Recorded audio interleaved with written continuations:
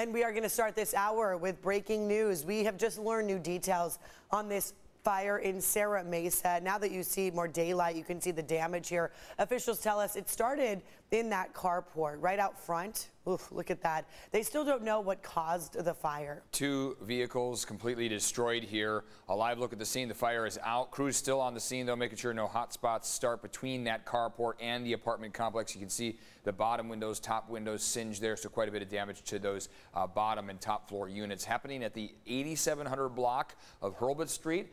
Officials told us moments ago everyone did get out safely. No serious injuries to report, but quite a bit of damage at this apartment complex at Serra Mesa. We have a crew on the scene.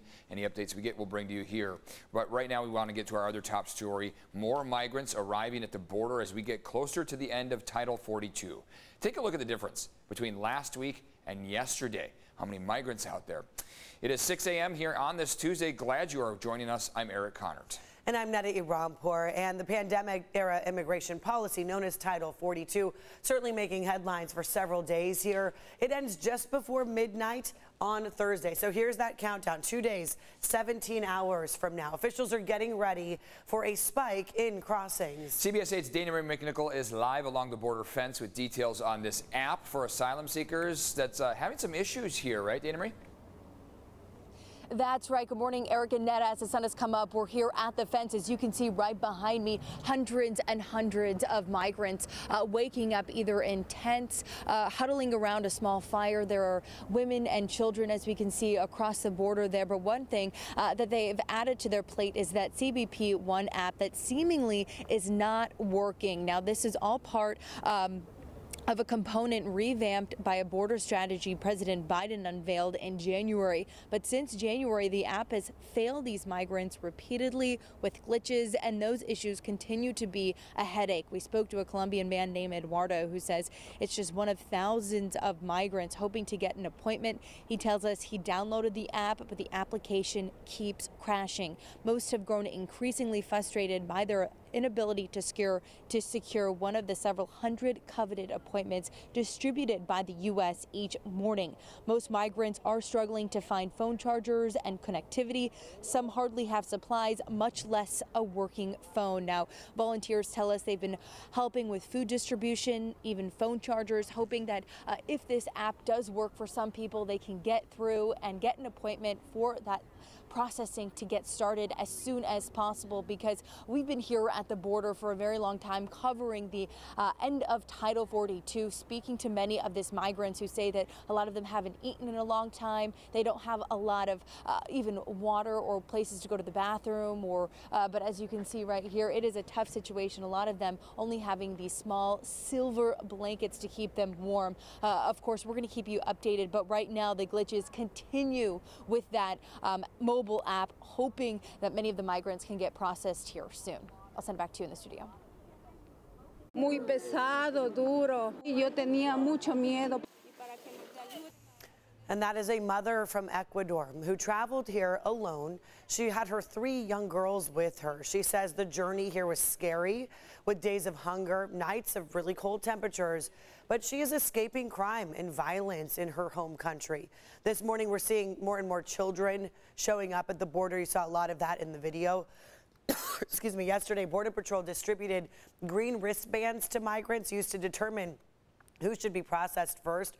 According to Customs and Border Protection, vulnerable populations, that includes women and children, are given precedence. Meantime, Texas Governor Greg Abbott warning about the dangers of lifting Title 42. President Biden is laying down a welcome mat to people across the entire world saying that the United States border is wide open.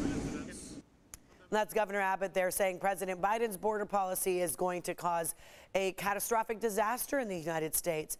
Abbott says he has deployed a new National Guard unit and the Texas Tactical Border Force to these hot spots along the border. Meantime, 1,500 active duty military personnel will start arriving at the border tomorrow, one day before Title 42 ends. So here are some of the details there. This morning, we're learning troops will not have direct contact with migrants and they will not help with processing them. Instead, they'll help with data entry. Warehousing support, and detection and monitoring support efforts. The goal is to free up Border Patrol agents to conduct their duties. And this morning, we're working for you to find out how the end of Title 42 will impact travelers. Of course, so many of us go from San Diego into Tijuana and back and forth. Well, the U.S. consulate in Tijuana says you should plan for longer wait times and possible closures. They say make sure your car is in good condition and that you have enough gas to wait in those long traffic delays. Also bring water, snacks, any essential medication along with you. A former San Diego County Sheriff's deputy is set to appear in court for the first time today.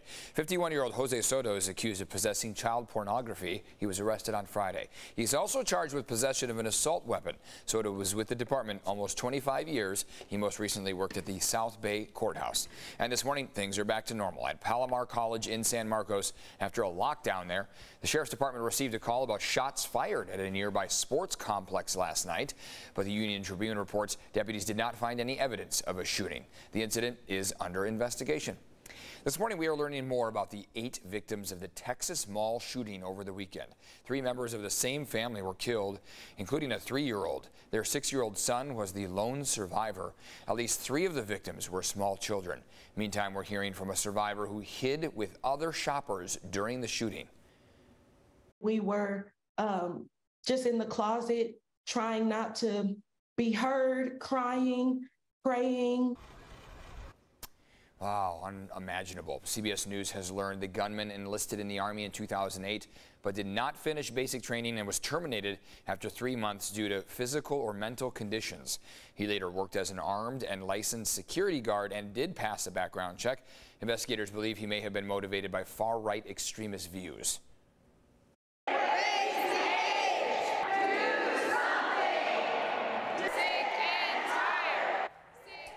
Activists demanding Texas lawmakers pass a bill that raises the age for purchasing assault weapons to 21.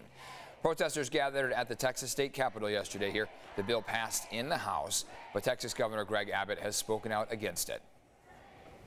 This morning now, an update for you in North County. Hey, all lanes of State Route 78 finally open. A sinkhole opened up in the middle of March. That caused, it was caused by, I should say, heavy rains and the aging culverts. Well, Caltrans spent several weeks on the westbound lanes first, then completed repairs now finally on the eastbound lanes. So you don't have to worry about those detours anymore. I know that set a lot of people back almost hour to two hours uh, as they were trying to get around. So let's check in with Evan here. It's nice to see that the weather has cleared up enough for crews to get out there. Yeah, finally people are able to make their normal commute uh, if that was the path that they took. We're watching as those clouds start to break apart here on our Tuesday morning. More dense marine layer to start off the day than what we saw yesterday. Tomorrow could even get a little bit of drizzle attached to it, a few hundredths of an inch if that's nothing too major. But what we're seeing is that temperatures are cooling down too as that trough of low pressure moves in our direction. So that's only going to be a trend that we hold on to through tomorrow because after tomorrow into Thursday and the weekend, that's when we start to see a warming trend and a clearing trend as well, shaping things up very nicely just in time for your Mother's Day. 64 along the coast this afternoon, 66 inland, 57 over the mountaintops. Here's the uh, Mount Soledad camera right now. 554 was that sunrise, so although we are about 15 minutes out from it, we are still working through quite a few of those clouds. This is in contrast to yesterday. Those clouds broke apart beautifully very quickly in the morning. Now we're going to hold on to them a little longer today, longer into tomorrow with that drizzle that we could see. And then by the time we get to uh, the end of the week, we'll see less dense marine layer clouds, more sunshine uh, peeking through. Tomorrow is our best opportunity for rain. It climbs up to 36% of a chance and then drops all the way down as we head into the upcoming weekend. Most of our models do show that this morning, sure, there may be a bit of mist out there. But for the most part, we are dry and just working through those clouds. When we run these models through tomorrow, we have better indication of more widespread mist, light rain, drizzle, all that in the forecast. But then a beautiful Mother's Day weekend will be on hand as a ridge of high pressure builds. Let's take a look at traffic here at 610. Look at your border wait times from the CBP website. Right now it is a 160 minute wait for the general line at the San Ysidro port of entry. Uh, just slightly faster getting through the Otay Mesa port of entry. It'll take you 90 minutes in total, so an hour and a half through the Otay Mesa port. Uh, but do keep in mind that uh, there is uh, quite a long wait compared to yesterday. I'll send things back to you too.